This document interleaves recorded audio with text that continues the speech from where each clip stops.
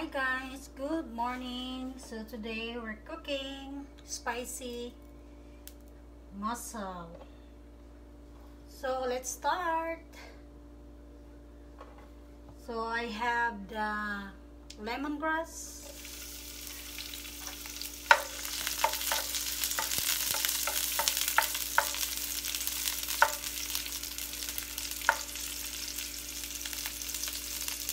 And the ginger.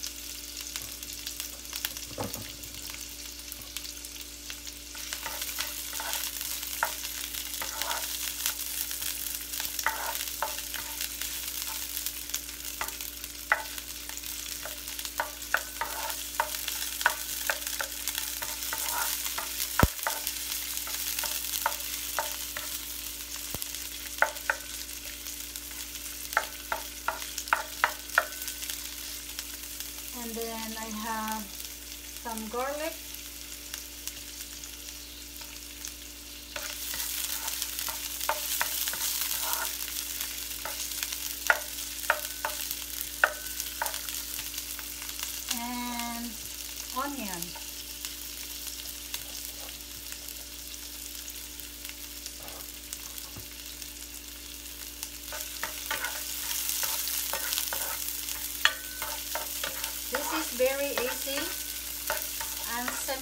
Cooking.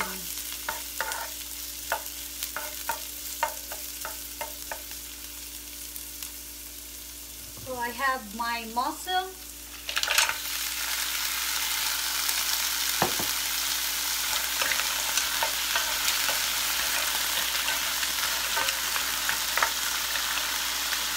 So we will cover it for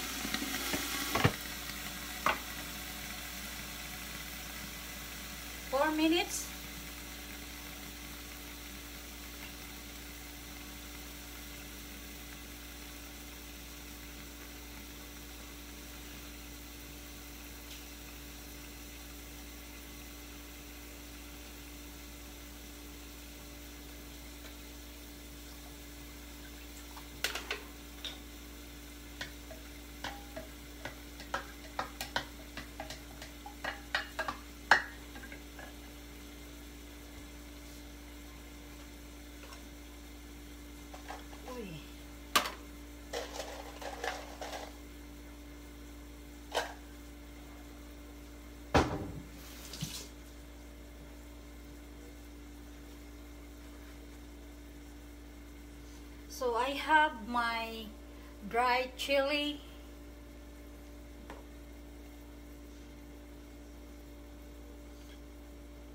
Hello everyone, good morning. I'm cooking tahong or mussel.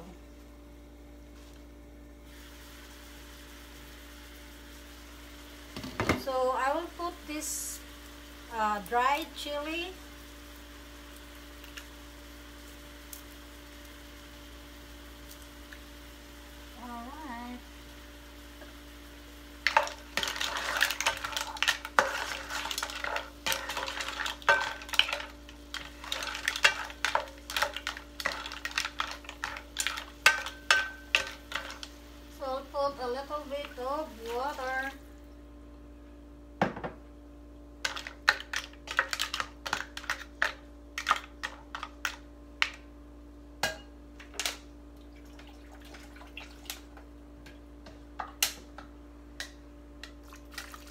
Okay.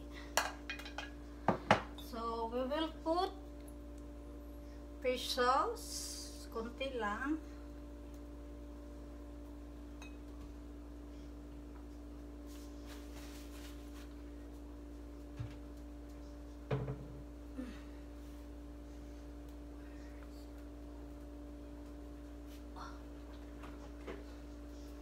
little bit of salt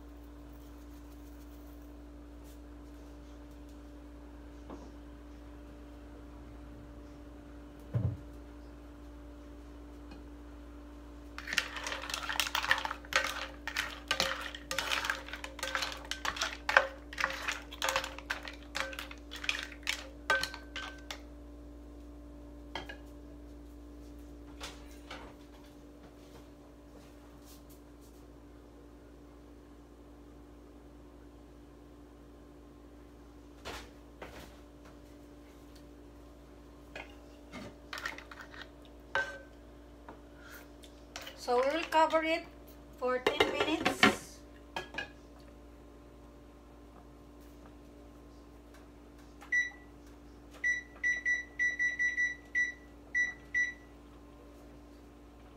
So 10 minutes, hintayin natin ng 10 minutes and then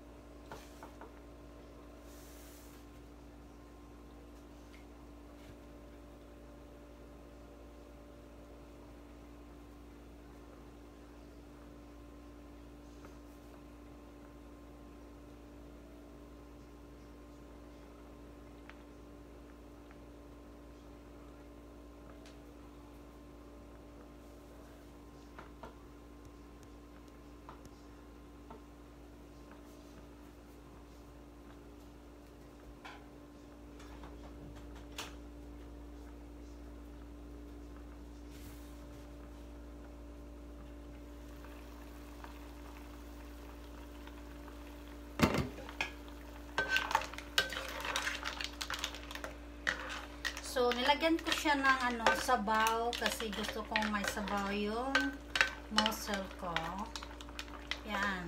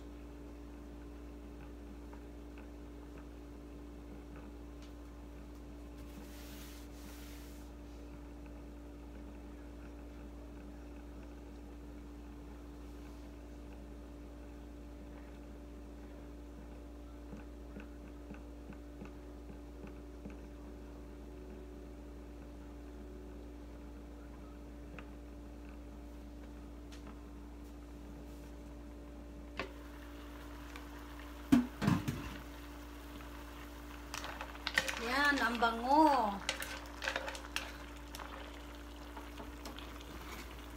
Lapit natin para makita nyo yung muscle. Yan.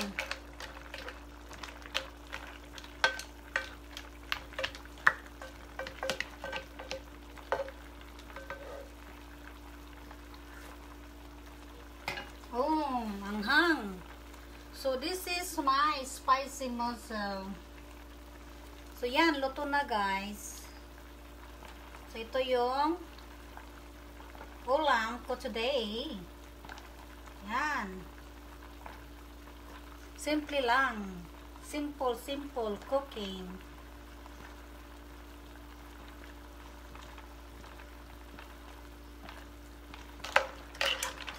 Thank you so much for watching, guys.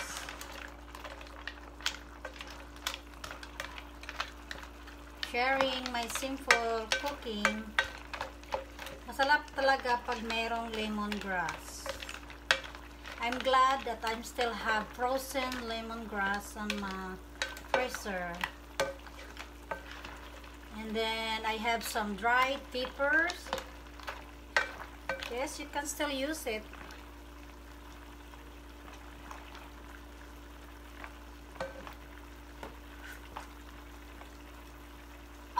Sarap!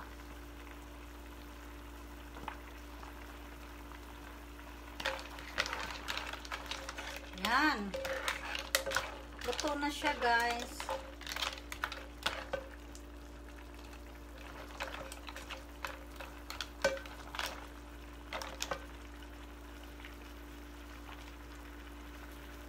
Okay, to transfer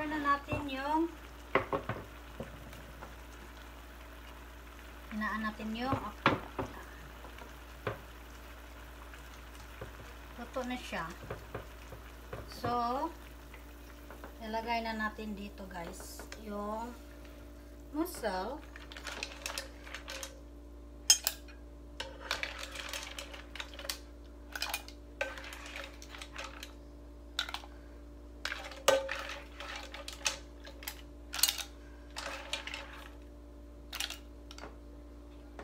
Okay, hold on. Sandali. Buto na. So, kasi mainit to.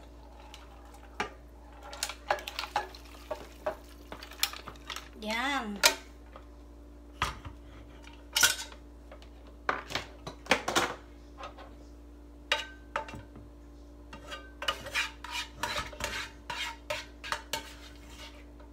So, yan.